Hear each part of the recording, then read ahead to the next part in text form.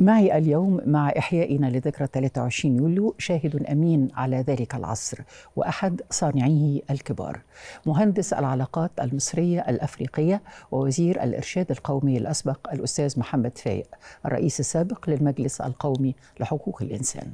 أهلا وسهلا بحضرتك. يعني الحقيقة أنا محتارة جدا إن أنا يعني أقدم حضرتك إزاي لكن مؤكد إن أنا لازم أقول إن أنا مع أستاذ كبير وقيمة إنسانية عالية جدا. طبعا هنبتدي ب 23 يوليو كيف تراها الآن؟ في تصوري ثورة يوليو يعني ما زالت عايشة فينا لغاية دلوقتي.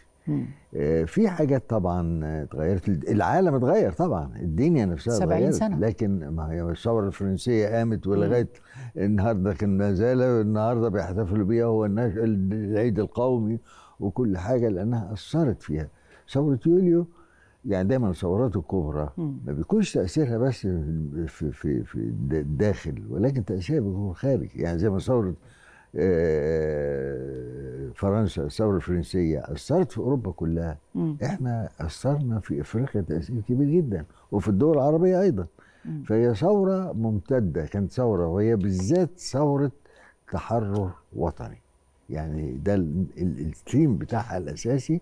ثورة تحرر وطني